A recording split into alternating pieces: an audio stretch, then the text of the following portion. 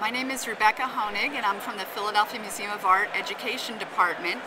And I'm going to respond to the first question, which was what will be the next generation's experience of museums? How is this different from your experience as a child? And all the questions were wonderful and, and thought-provoking, but this one just immediately spoke to me.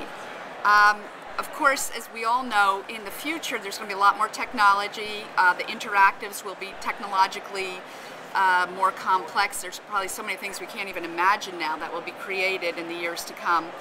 Um, a lot of virtual experiences. Um, and I'm old enough to remember when we had virtually no virtual experiences.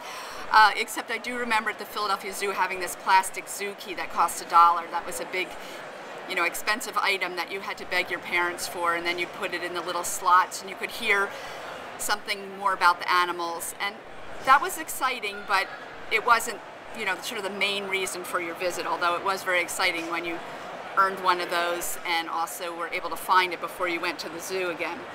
Um, but I, I really feel that it's a kind of universal, eternal thing that museums hopefully will always have direct experiences with direct objects um, from the past, whether it's a Renaissance painting or um, a dinosaur skeleton, that that ultimately, looking at something that's from you know 500 years ago or a million years ago, is what really fuels the imagination of a child or an adult for that matter. Um, and allows the viewer a truly one-of-a-kind experience that cannot be duplicated because it's it's sort of like reading a book versus watching a movie. You can make the character look any way you want when you're reading the book, whereas when you see the movie, a certain actors or actor is playing that character and it may or may not um, be the way you imagined it.